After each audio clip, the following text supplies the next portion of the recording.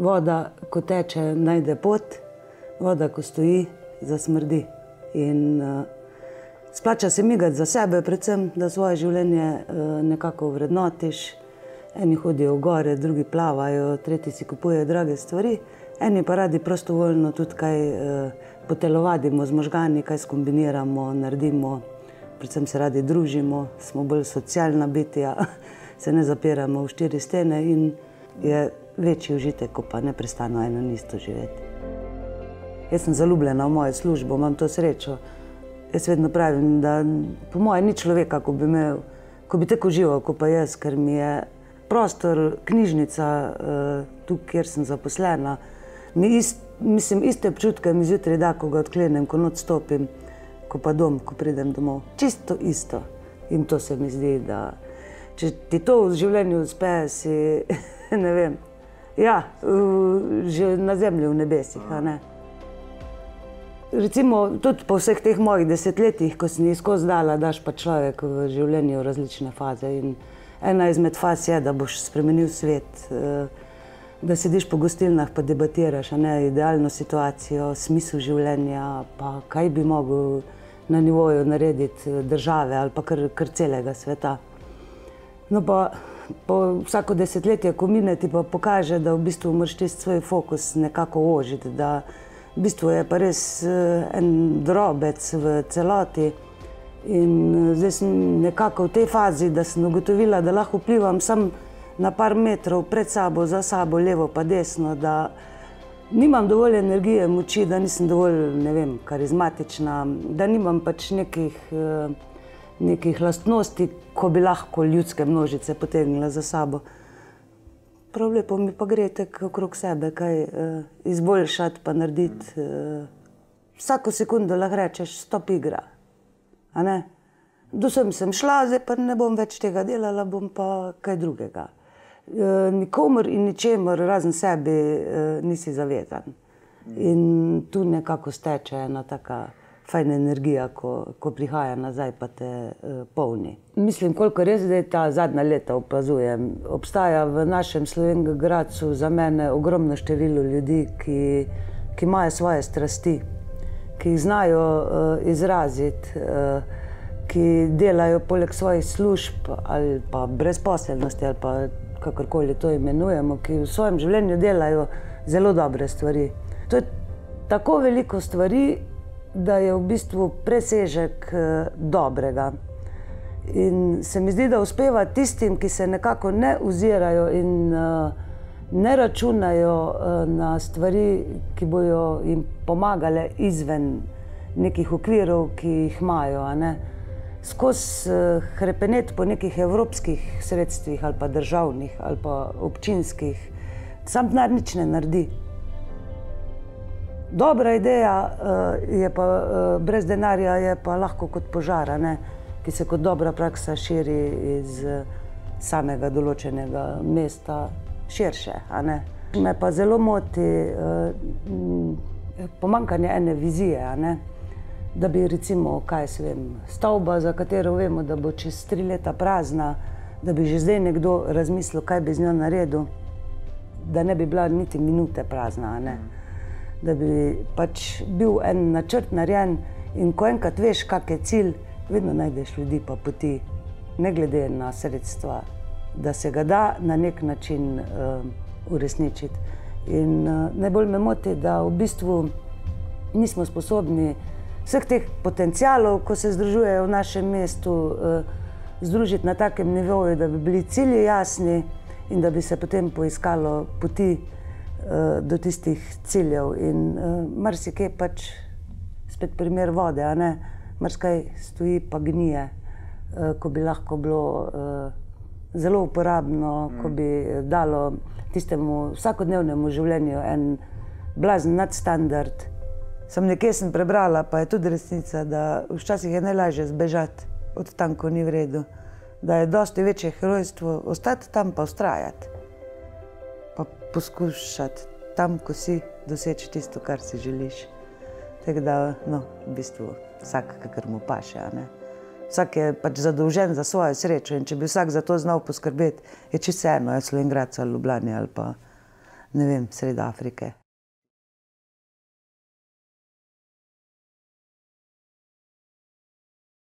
Prva skupina je v bistvu nastala iz projekta, ki je prostor. Uh, ponudili so se prazni prostori in pol je bilo pač treba soda jih zapolniti. Uh, tule je bila ideja pop-up trgovine, že tako v zemljevidu urisana. Tako da to v bistvu nisi noben od nas tega zmislil. Uh, to je bila od Anja Šuler ideja in projekt. Um, jaz sem pač pol povabila ljudi, ko se mi je zdelo, da smo dosta odrasli, no, ali kako naj rečem, da smo sposobni to speljati. Iz tega, to je bilo v bistvu bil začetek, v dveh ja, dneh. Ja. Fulna hitro se je zgodilo, tudi uh, tako fulka obojsko, čista improvizacija. No, uh, ja, pa predvsem je bil problem to, da so to ljudje, ko so sposobni nekaj natrdati da imaš zalogo, da imaš kaj pokazati, da je nek smisel vsega tega. Ja, nadgradilo se je zato, ker se je izkazalo kot uh, tudi dobra poslovna priložnost, ne samo uh, prezentacijski projekt. Um, ekipa se je razširila, uh, ker to ni naš ali pa občinski prostor, je tudi še vedno um, vem, se pogodba podaljšuje, vedno je tako vzdušje, da ne vemo, ali še bomo obstali. Uh, do zdaj mislim, da smo že štirikrat podaljšani. Tudi sami smo kdaj pred odločitvijo, a še imeti skupni prostor, in uh, do zdaj se je še vedno pokazal interes vseh v bistvu zadeva nekako spontano ostaja in se razvija. Različni karakteri smo, zato ja, se tudi mogoče fajn dopolnjujemo ja, z različnimi znanji, pa na različnih stopnjah znanja smo, tako da se drug od drugega učimo. To je tudi recimo, en tak smisel ja. takega skupnega delovanja, da učimo drug drugega. Med temi novimi pridejo vedno zraven kakšne pozitivke, ki malo držijo vzdušje po konci. Prednost za stranke je tukaj, da lahko prezentiramo druga od druge izdelke, da točno vemo, kaj ena dela in v bistvu lahko predstavimo strankam delo ostalih, ki tu dela. In s tem uh, stranka dobi večjo zaupanje um, in se tudi lažje odloči za nakup enega izdelka. Recimo. Kar drugod, ko prodajajo posamezne trgovke, ni tega. Ne. V bistvu tisti, ki so nas poznali, so pač navdušeni.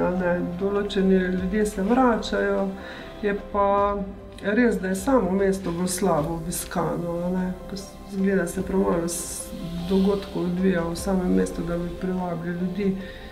Trgovin tako skoraj da ni več, lokalov je dosti praznih. To je najbolj bistveno problem. Uh, Drugače pa ja, tisti, ki nas poznajo, so v glavnem so to pozitivni odzivi. Tisti se bojijo, ja, da, da, da bi zaprli. Da bi zaprli ja,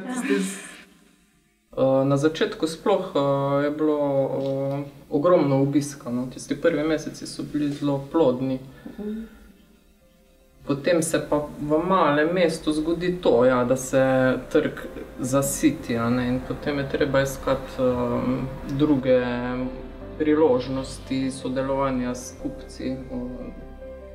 Treba skozi um, uvajati nekaj novega, nekaj, kar je drugače. Ni problem zadeve odpreti pa postaviti, bolj uh, izziv je obdržati projekt na dolgi rok. Uh, se mi zdi, da mesto rabi. Eh, ne samo naše ponudbe kot trgovino, ampak tisto dodano vrednost, ki pomeni uh, nekaj, kamor se ljudje pridejo malo kulturno privzdigniti ali pa na, na past, na. Uh, se tudi v trgovino pridejo doskrat. Se razgledati kot v galerijo, uh, nimajo občutka, niti da so v trgovini. Mislim, da ljudje zelo rabijo nekaj, kar je kar ni samo komercialno, kar ima dušo, kar uh, ponuja nek osebni pristop do kupca. To si pa zdaj tako lepo povedala. Ampak ker si tam sozen.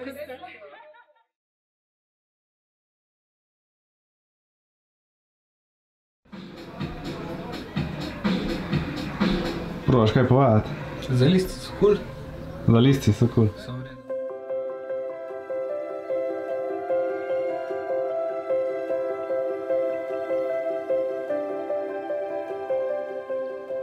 v bistvu je bil um, Špajs oziroma Društvo Met je bil projekt um, Neža Oder v štartu. Projekt se je pa začel zaradi enega pomankanja oziroma želje potem, da, da se vzpostavi neka, nek prostor, kjer bi, kjer bi imeli možnost ustvarjati oziroma se predstaviti um, ustvarjalci na področju alternativne kulture, ker se je čutilo v Slovenki pač neko pomankanje te, te alternativne kulture. Tudi v bistvu se je iz tega, iz tega nastala ideja, da se ustanovi društvo in pač da se tekom ustanavljanja pridobijo tudi neki prostori, uh, ki jih je pa društvo pol dobro na celski 22, torej tam, kjer je danes Špajs.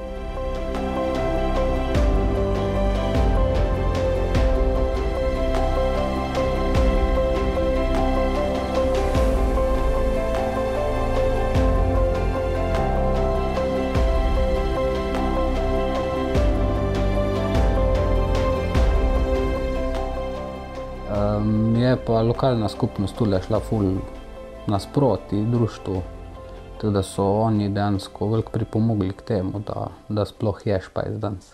Zdaj, v dveh letih pa pol delovanja je bilo izvedenih prek 100 koncertov pa delavnic, izobraževanj, okroglih miz. In to ne bi bilo možno, če, če ne bi bilo podpore um, lokalne skupnosti. Um, tako da jaz glede tega sem v bistvu ful zadovoljen, nimamo nekih težav. No. Nam grejo tudi kar na roko. Vsi deležniki, s katerimi sodelujemo, od policije, kjer je treba pač prijavljati dogodke, do varnostnikov, do občine, tako da smo kar, smo kar zadovoljni.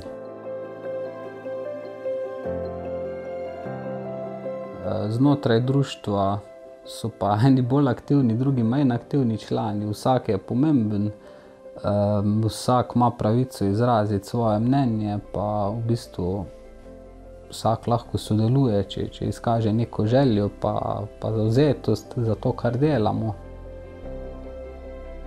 Je pa dejansko zadeva taka, da aktivnih članov bi rekel je okrog 20 in to, so, to je tisto jedro, ki pač oblikuje program in skrbi za to, da zadeve tečejo pač nemoteno. Večinoma je pač so socialna omrežja danes tista, danes ni več, ne presnemavamo CD-jev pa kaset, ni tega ustnega izročila toliko, ne, se pa zato zatekamo pač tistim servisom, ki so na voljo. Torej, pač Facebook je, je najbolj hvaležen v tej smeri. Um, tudi promoviranje se večinoma izvaja prek Facebooka, vseeno še s plakatiranjem, pa z deljenjem letakov, pa z ustnim izročilom, ampak večinoma je pa danes se to preselilo na, na splet.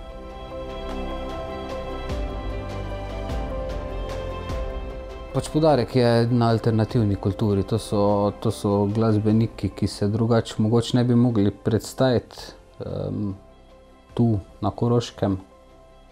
Večinoma so mlade skupine, ki si pač še utirajo neko pot ali pa kariero. Tudi prostor je namenjen v bistvu temu, da se da proslavlja drugačnost v bistvu neke, neke take skupine, ki druge nimajo svojega glasa, pa je mogoče pa en kanal, um, da, se, da se pokažejo.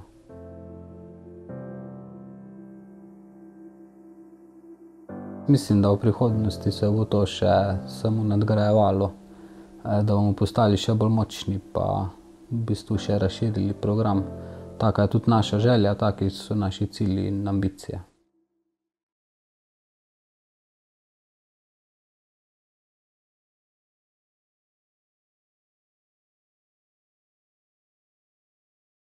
Isto je, oziroma še večja borba, samo mi smo bolj, až to te dela živega, to te, dela, to te pomlajuje tudi. To, da si zmeri znova, zmeri, zmeri znova, nič ni, ni pričakovano. V bistvu je borba, ni, ni uno, zdaj grem pa na šiht, itak bo plačal konc meseca. Ne? V bistvu je vse skupaj eno plastenje raznih motivov, poplava, um, raznih motivov iz teh sodobnih medijev, iz filmske produkcije, videov, uh, računalniških zaslonov, uh, razen, raznih oken, ki se pojavljajo. Na nek način je to slikarstvo, ki je fizično, ki je sočno, ki je delo za barvo, je uh, nekaj utepljivega, je haptično, je delo. Drugo je pa recimo to, da um, me, me vleče ta ena kompleksnost teh, tega plastenja, teh podob, ki jih množim in jih pustim na platno. In so mogoče te podobe neke vrste kot ene tančice, ki druga drugo prekrivajo. Ko govorimo o teh motnjah v komunikaciji in, in pomankanju informacij ali pa preveliki količini informacij, tukaj prihaja včasih do nekega kaosa. In v kaosu verjamem, da je neka preciznost, so pravila, ki so včasih našim očem skrita.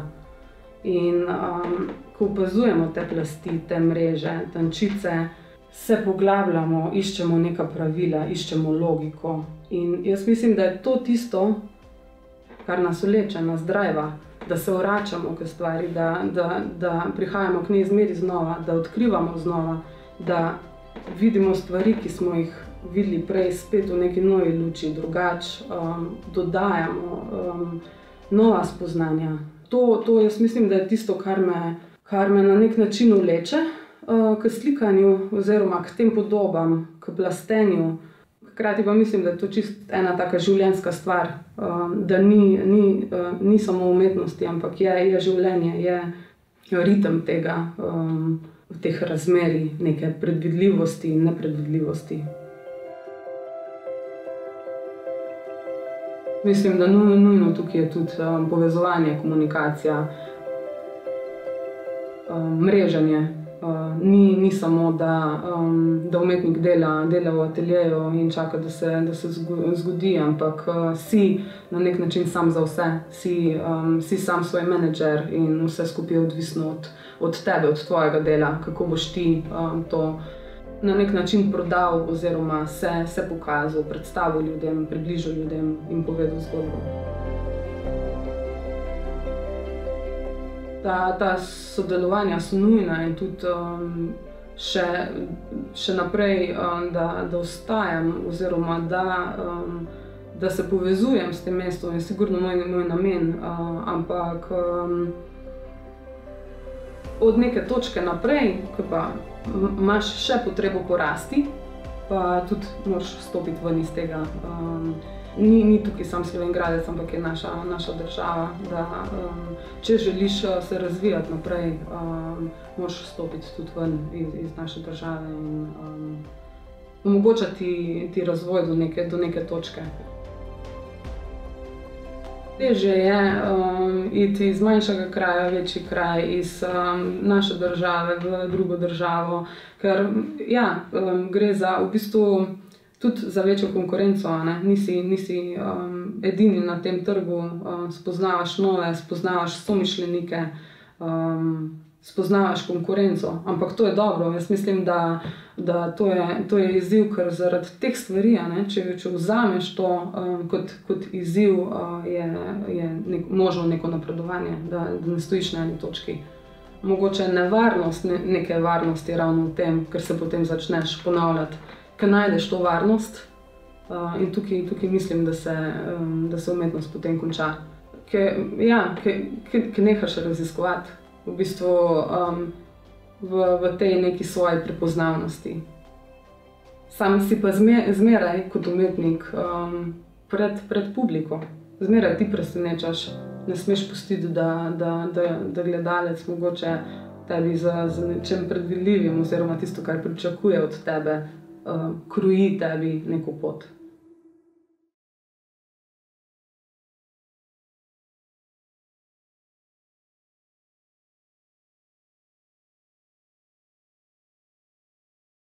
Jaz to že delam, skupno in mislim, po mojem, uh, pri 13 ni tako prvo zdaj, ko spekam. Jaz sem potekla ful za doma, za prijateljice. Pa se je začelo tole, pa meni naredi, pa on mu naredi. Pa je pa malo poguma za to, da nekaj pač uradno tudi narediš. In pa ko sem že začela delati to, pa sem rekla, veš kaj, lej, pekarc je ogromno, vse dejansko delajo nekaj podobno. Zakaj ne bi malo drugače, pa tudi z drugačnimi sestavinami. Jaz imam zelo, zelo rada domače okolje, lokalno. In v glavnem je ful veliko predelovalcev tistega, kar jaz rabim, se pravi jagodičevja, pa recimo uh, koroško mleko gre v celejo. In če nemam čas, grem dol, celejo, nabaviti vse mlečne izdelke. Mislim, jaz, jaz se ful bolj počutim, če vzamem, evo, tule iz našega okolja, tudi preverjeno je bolj. Mislim, če ti, mislim, tule lahko nadzoruješ kakovost sestavin. Pa sem rekla, da je to malo drugače, unikatno, pa skrbno izbrano, kaj boš uporabljal. V bistvu, zakaj sem se odločila, pa to zdaj pol, v bistvu ne odločila, bolj kot ne opogumila za, za to, da delam tole pač uradno, kot dejansko neko vrsto službe. Tako da zdaj že ni skrivnost, da, je, da imam posebnega otročka in on rabi ogromno. Kaj zdaj, da se sam sebi smilo, pa tudi gledal, pa študiral, kako je to drago, pa kako mu to ne moreš dati, ali boš uporabil tisto, kar znaš, pa v čem uživaš. Dejansko je bil en ful velik razlog, da sem začela uradno delati, je bilo glih to, ne. Otrok rabi, jaz to rada delam, uživam, da lahko druge razveselim in to je to. Enih par let nazaj, no, je to, da, da sem rekla, evo, to bo moja služba. Poroke, to tek recimo zadnji dve leti delam. Um, to sem si ful želela. Je en tak projekt, je v bistvu, ni tako skomplicirano, kar se tiče recimo ustvari, tistega ustvarjalnega dela, kot je recimo logistika, uh, količinsko je ogromno. Na koncu konca mora lepo izgledati. To v smislu in tortic in desertnih miz. Na desertni mizi je ful stvari, ful različnih in kosovno ogromnih. In to, mislim, vzame čas, logistiko, ponovadi to zgleda nad spanja. Um, ampak res nad spanja. Um, pa to se odpeljati in pa ko odpeleš in ko vidiš, da si zrihtel in ko vidiš, da je bilo v bistvu, da so bili vsi zadovoljni, je to ful dobro občutek. Ono tisto, postaneš tako en mal adrenalin frika, ker drugače ne moreš, ni šans. Če, če ne preneseš tega, tega pritiska, uh, um, ne moreš delati. No. Bolj imajo nove ideje, boljše za mene. Spravim, ne se ponavljati, ne iskati tortic, ko si že delala, najdi svojo, uh, svojo idejo. V bistvu me najbolj boli to, če moram delati klasiko. Ali, se pravi, in po okusu, ker jaz delam po lastnih okusih, ali pa recimo, da reče, o, naredi mi knjigo, o, Bog pomagi, knjigo. Uh, ne, to, to v bistvu vse naredim, sam glih uživam na tem. Si zmatran, ono tisto, vsak del telesa upije, id spat. Je nič, pa greš delat. Vse pol je vse, ko se spraviš k sebi, je super, pa pol dejansko tudi uživam tule. Uh, sam, ja, disciplina, ful, res taka disciplina, da nisem si mislila, da je kdaj lahko. Jaz tako recimo, no, se trudim rec, že s tem osebnim pristopom, ker res jaz dosti govorim, dosti promoviram, se pravi, to zdravo, domačo, lokalno hrano. Uh, govorim, koliko je dejansko dela v tem, ali, da pač tak tradicionalni način izdelava peciva vzame ogromno časa. In tisti, ki to cenijo, itak so tu, so z mano. Tisti, ki pa ne cenijo, pa ponovadi se ne odločijo. No. In to je pa dejansko, kaj pa vem, no, meni men je bolj štrk. Se najdemo tisti, ko smo enakega mnenja, pa se enako cenimo drug drugega.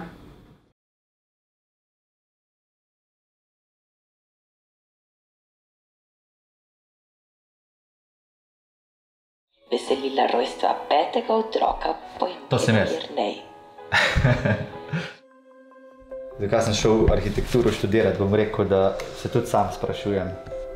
Uh, ampak, če me vpraša, če mi je žal, da sem šel arhitekturo študirati, rečem, da ne. Pač tako nekod sem se že takrat mislil, o, mogoče bom pa se res prepisal.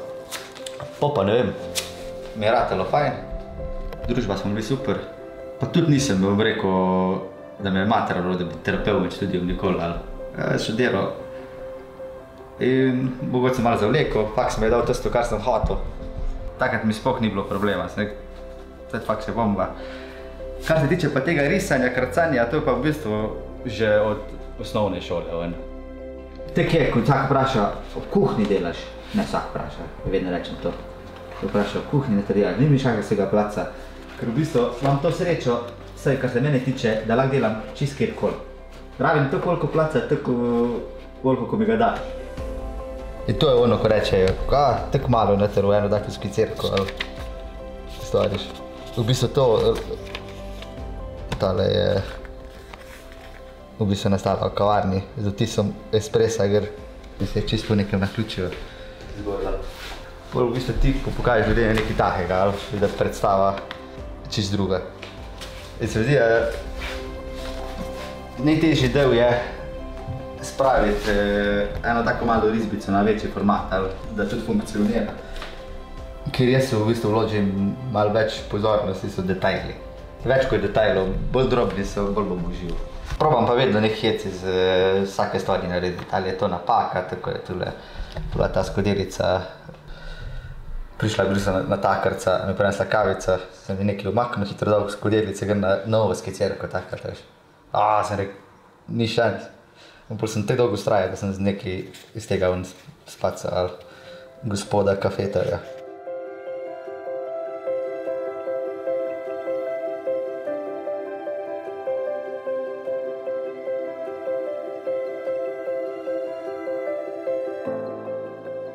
V bistvu tole nastaja na različnih lokacijah, te so večinoma nastale na Polskem, sem delal, ker Pa pa ne te dan nekako nastane v bistvu ilustracija. Jaz nikoli ne grem delati neki. Uh, največkrat se zgodi, da v bistvu čečkam gre po papirju, ko grem po telefonu ali pa računam neke brezvezne stvari, zraven kak sem kaj v trgovini zapravil, pa kracam zraven pa rečem, a, lej, tudi gospod je zanimiv. Ali pa berem kaj na internetu, vidim stota obletnica, vem, da je bila lani Charles Dickensa, sem se spomnil takoj na Matildo. Se rišem s tušom, ali pa takimi pigmentnimi črnili. In original povedno pustim črno-bel. To povajam izvira že ven iz uh, mojega faksa, arhitektura, ali pri mojem mentorju bilo vse črno-belo. In uh, se mi tudi zdi čista risba, ali lahko funkcionira, ali čisto sama za sebe črno-bela, ali pa če je popustri z barvami, nastane lahko nekaj čist tretjega. Ali. Jaz pol te barve v postprodukciji umilim, oziroma kako določam kontraste, ali kjer ima bolj žive, kjer ima bolj... Prepuščaš malo kontraste, malo umiliš, malo zadušiš, malo ven spustiš in na koncu dobiš eh, nekaj takega. Ali. Po pa kar še ful rad delam je pa to, da neke teksture, ki jih v bistvu sam poznajem ali s fotoaparatom ali pa izrišem, apliciram še čez. Ali. S tem, da sem tudi še apliciral že te druge teksture, od nekih eh, vzorcev za na steno. Ali. Po pa še vedno le, kaj pa korigiram včasih.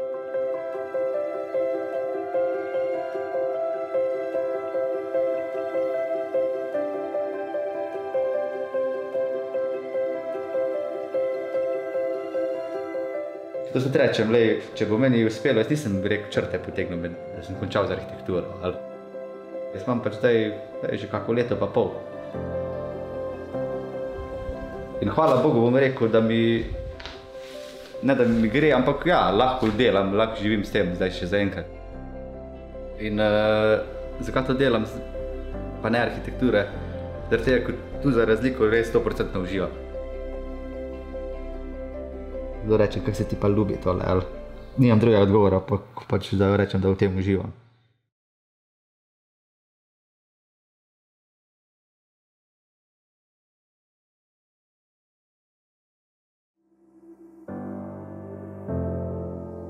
To je bila ena prvih stvari, ki sem jih naredila iz gline, pepelnik, zato ker pač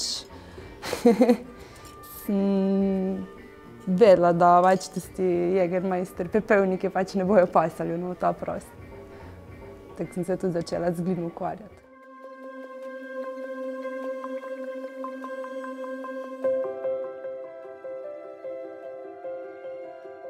Ko pa sem po faksu dve leti bila na zavodu, nisem dobila službe, smo se mogli takrat tudi odločiti, pač kaj, kaj sploh hočem v življenju. Um, in pač prva stvar, ko mi je padla na pamet, no, je bila pač tudi čajnica. Ker sem se že takrat tako fajn imela tam, stari. Vedno sem pomagala, pa delala, pa ful mi je bilo fajn.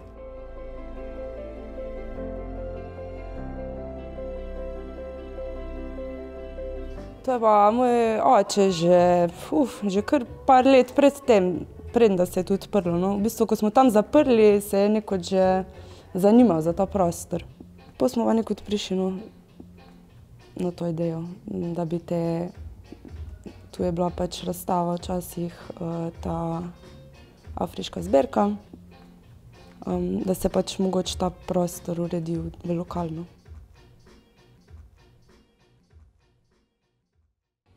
Od najmlajših še v vozičkih, pa do starejših babic, dedkov tudi pridejo na čaj, kar je zelo fajn. Pač, uh,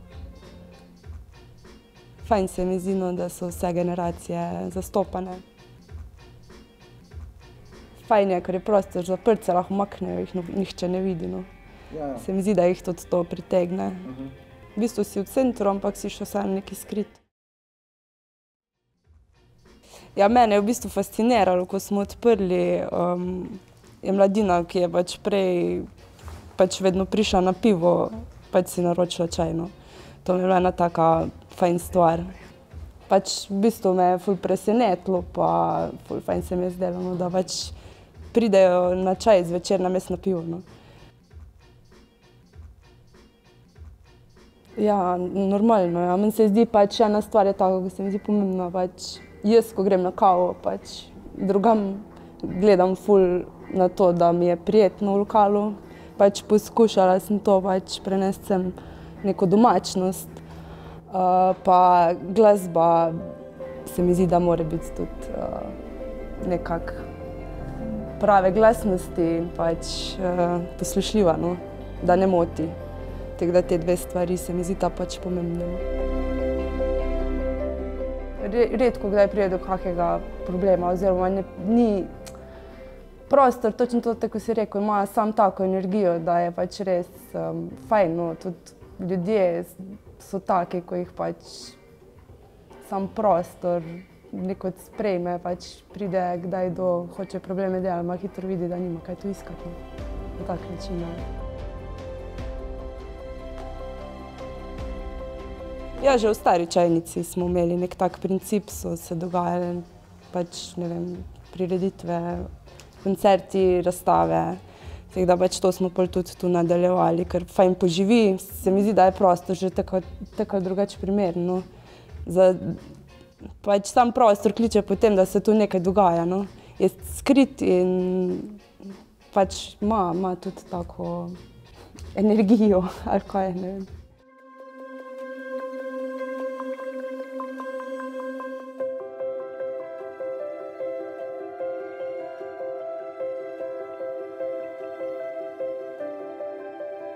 Ja, sem prepričana, no, da če bi imeli samo čaj in kavo, da to ne, ne bi šlo skozi, no, to je enkrat eno.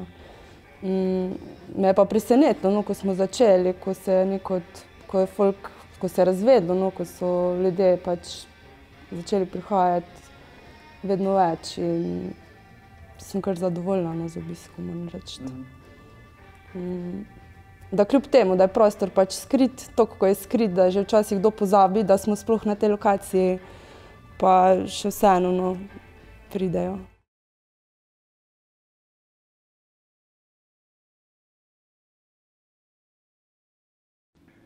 V bistvu smo nekako besediti to. Jaz vem, da sem prišla takrat, oj, pa rabim ime. In ni čista praznina, mislim, ime. Pač, pa že tako, fotografi, to, ko se uporablja, to je pač nisem jaz sploh. In prvi moment, ko sem rekla, jaz pa rabim ime, je Jure rekel, ker je, on je fejs pomemben za to, kako jaz delam v življenju, pa tudi iz vseh vidikov. No. In reče, pa saj si taka fotobeležnica. In kot da bi si Slovengrad, nikoli nisem prihajala, sem nisem imela tu niti nobenega znanega, razen če si slučajno koga poznal, pa če zaradi ravni iz gimnazije. In kot da bi si šparala to mesto, se ne vem, to je zdaj v hecu, da rečem, sem kot da bi si šparala mesto za to, da mi nadomesti eh, Ljubljano. Je pa zanimivo, da v bistvu vidiš, da ne poznaš nobenega čez noč, pa pol skozi tiste meste, mesece, ko so se začeli s, s to službo, ki je še zdaj ne dojemam kot službo. No. Uh, je pa polno ljudi, ki v bistvu ustvarjajo. Pač tako sem hvaležna, no, da sem srečala ljudi, ko se jim ljubi. To je meni pač, da se ti ljubi, pa da, neki, da se trudijo. In pol pač v bistvu to so pač postali zdaj nekako moji ljudje. No sem razmišljala, da v bistvu hočem vzpostaviti, da je enakovreden cajt med službo oziroma tak delom, ki na nek način ni služba, recimo 9 ur na dan ali koliko, ne vem se, če bi človek preračunal, plus ostalih 9 ur, ki pa je tudi drugo delo, čeprav je to cajt za nas, za mojo družino, ampak še vedno je to pač, vsak ima družino, ve, da je to pač tudi veliko delo. In zdaj to dvoje, tako bi rada, da ostane v nekem ravnovesju. Zdaj bolj kot ne, ostane. V, pol, no, pač na račun časih, veliko krat na račun spanja. Ampak to se pač odločiš, ne, da, um, da pač ne greš ob 8-9 spat, ampak šele začneš delati. To, to pomeni, da moraš biti še bolj organiziran, pa discipliniran. Pa če vseeno zjutraj vstanem ob 6-7 in to je pač ne, to se pač moraš odločiti, da tako deluješ, ker res enostavno svoboda bi tudi bila marsikomu, da do 11. pol spi in greš, ker vseeno nočno delaš. Da mi je to point, da te, te zgodbe, ko jih dobim, zato tudi ni služba. Ne?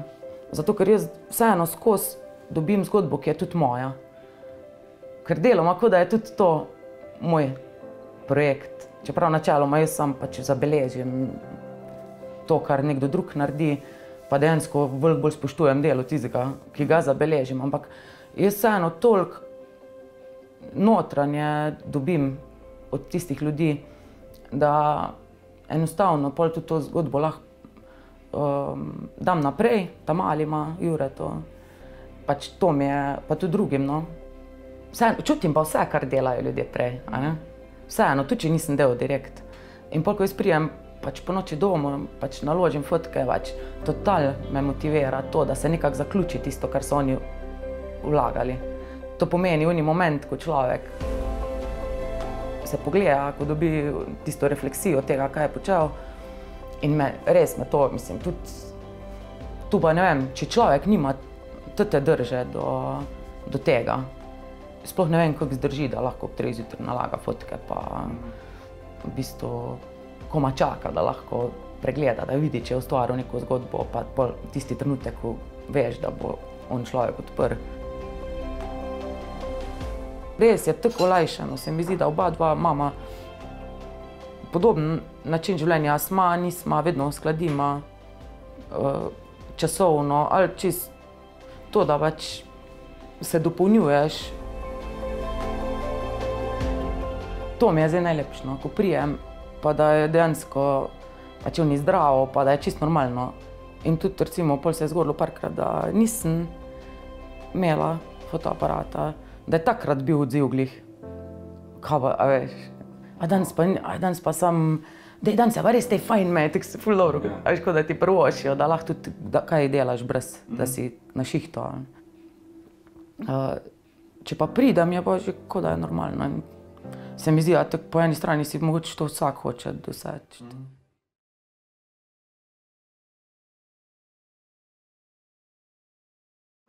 In tam na portugalskem sem najdel tudi korenino, le, ko imam to gorobešeno. -huh. In sem jo dal v katrco takrat, kao za srečo. Ma bolj dolga je še bila, tam to se je zlomil. In zdaj to koreninico pre, prenašam iz avta v avto srečno vožnjo. Nisem se kaj ekstra spraševal, zakaj glasba, pač enostavno mi je bila všeč. Tak, uh, ni me bilo treba niti prositi, da, da delam ali pa da grem vaditi. Prej so me prosili, da ob desetih zvečer končam, da ne igram več. Ne moreš pričakovati zdaj, da boš takoj v štartu dobil pa ne vem kaj vse, a ne. Dokazati se moraš malo s tem delom. Pa zdaj, če že delamo več kot kot 20 let, mogoče se ne znamo iti. Jaz sem prepričan, da veliko ljudi imajo ogromno, ful več koristi od mesta, po mojem. Zato, ker so pač tam se okoli šunjali, okoli tistih tipov, pa hodili na te prireditve, pa vinček pili, pa ne vem kaj še vse, a veš. Zdaj pa kaj bom jaz tam, eh, ne vem, sedel tam eh, pred pisarno, pa čakal na ne vem koga. To je brez veze. Poklic ali pa življenje glasbenika ima svoje pluse pa minuse, a ne. Prideš včasih pozno, tako včeraj, ko a, smo bili v Mariboru na Lentu, prideš ob dveh, pol treh, pol je danes nov dan, ko imaš že nove obveznosti, pač moraš uh, vstati uh, malo zgodaj, ali pa si rečeš, bom vstal pol osmih, pa je to za marsikoga že ful pozno, ne. Ampak večina ljudi tudi konča službo v petek ob enih, dveh ali pa treh, ko se še večkrat, večkrat šele tvoja služba začne. Jaz temu ne morem reči služba, ker v glasbi denarja ni. Mislim, razen če si se odločiš, da greš v komercialno glasbo s tem namenom. Ampak če si pa malo bolj smotan, tako sem jaz, ko se ne znam iti komercialne glasbe, enostavno me, me ljudje vprašajo, zakaj pa ne bi ti igral v enem ansamblu, pa na ohcetih, pa uh, mama mi je rekla večkrat, da bi bila bil Oliver Dragojevič, on zna fajn špilati klavir, pa poje, pa Rok Kosmač tudi poje, pa klavir špila. Enostavno ne znam. Mislim, se mogoče bi znal, če bi se lotil, sam ne čutim, ne. Ne čutim tega in je to, pol se življenje glasbenika malo zaplete, kar se tiče samega stanja finančnega in vsega skupaj. Večkrat slediš srcu in premalo slediš razumu in pol pač greš tudi in rečeš samo, ker ti je fajn, grem pa špilam, pa ajde bo pa že. Pa greš večkrat za neki mali denar in pol takole flikaš. Tako da je pa po drugi strani seveda ful zabavno, zato ker spoznaš ogromno ljudi, dinamično je, si v samem središču dogajanja, nisi tam za ograjo pa gledaš nastopajoče, ampak si ti tisti, ko ljudem nekaj daš uh, in ti je fajn, da lahko daš tisto, pa ne direkt tisto, kar oni hočejo, ampak ko čutiš, da sprejmejo tisto, kar ti hočeš izraziti. Ne, ne pritegnemo zdaj seveda množic splošnih nagrod, na, ne vem, ampak pride na naše koncerte od 50 do 200 ljudi, lahko tudi manj kot 50, lahko tudi 1000, če smo na kakem festivalu. In vedno se najde kdo, ki pride ves ganjen ali pa uh, te preseneti z odzivom, ko si ga ne znaš predstavljati, pa lahko je to starejša oseba, ko se ne bi mogel misliti. Ne vem, 70-letna stara gospa v enem klubu v Londonu, kjer smo že igrali parkrat. Lani je tista ženska ni mogla, vstala je in plesala je na našo glasbo, žurka je bila na našo glasbo, kar ni glih pogosto. Mi smo tam masturbirali vsak za svojim inštrumentom, ona pa dve sta bile, prva vstala, pa druga vstala tam za ono mizo in sta plesala čiste. Pa smo se vsi gledali, pa smo mislili, wow, te te dve pa res čisto odfukano, ne. Pa tako, kaj smo sprožili s tem in to je, to so neki momenti, ko, drobceni momenti, ki ti poplačajo ogromno tistega truda, ki je odzad pa dela, ne vem, tudi to, ko se usedeš v avto in se peleš uh, 30 ur, da priješ v tisto Anglijo, kamor zadnje čase malo več zahajamo, spiš na parkiriščih, si zmatran, utrujen, je vroče, cel zjeban priješ uh, tja in pol ti en tak drobec reče, evo, zato se je splačalo.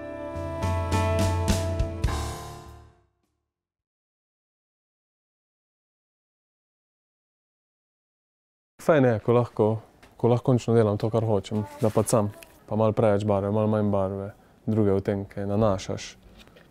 Ampak vseeno, svoboda tudi košta. Viš, kolikokrat jaz pridem zjutraj, pa, pa si mislim, ma, fajn bi bilo, da bi imel šefa, veš, da ti zjutraj, ko priješ na šiht, pa reče, ej, zdaj pa to pa to naredi, ti narediš to, čakaš, da je ura tri, pa greš domov. Zadnje cajte ugotavljam, da res v bistvu, ko dobim neko idejo, da pač brez, brezkompromisno se lotim, ampak brezkompromisno to mislim na to, da ne razmišljam preveč o koliko me to pride, pa je takega, ampak veš, gremo to. Ker če dokler ne naredim te neka ideja, pač skozi grabi. Sem se osvobodil določenih stvari, kar se tiče razmišljanja, da nisem, ne rabim biti več pragmatičen v umetnosti, no. Ampak da res delam. Veš, to, kar sem si zmeri predstavljal za one ta velike, ta pravi umetnike, da so res brezkompromisno delali to, kar so hoteli. No. In v tej fazi sem trenutno, da res in pol lahko tudi uživam v tem. No. Tudi ta, recimo moja opletenost v ateljeju, toliko bolj pomembna, veš. Ko folk govori, ja, pa si danes ne rabiš ateljeja, je- to je bullshit, ali ne moreš ti sam, uh, mislim, pri mojem delu, sam za računalnikom sedeti pa uh, ideje dobivati. Ni šans. Ker ti vseeno, veš, če si mojster svoje obrti narediš, tek da je super, vmes je ono tudi eksperimentiranje. Je čisto ateljejsko delo in takrat, ko si ti vpleten v delo, šele vidiš, kaj ti ponuja, kakšni so določeni odgovori ali pa ne. Jaz vidim in vem, da v bistvu skozi proces marsikaj uh, ma tudi spremenim. No.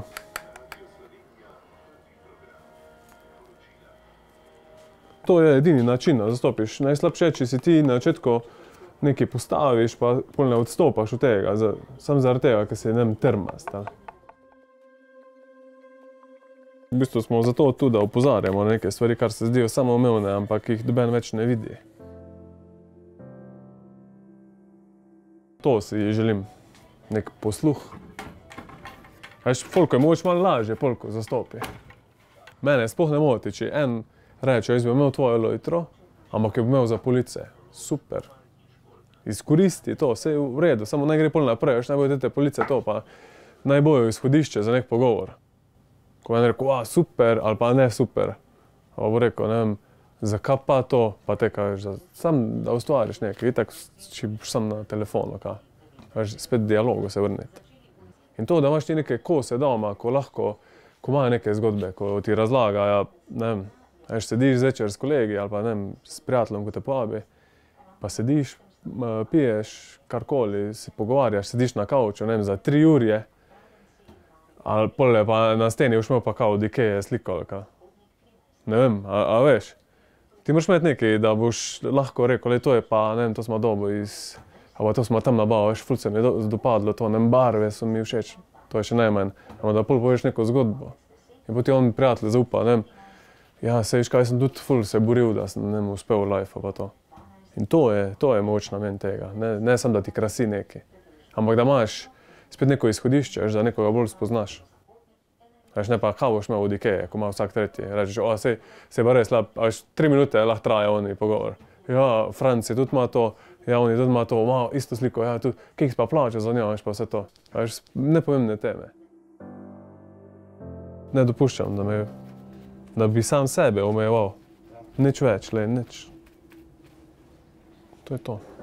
A štekaš, ti odločaš o tem, kaj bo, kaj ne bo. In to je isto, le. Če boš kaj naredil za to, bo, če ne boš kaj naredil, ne bo.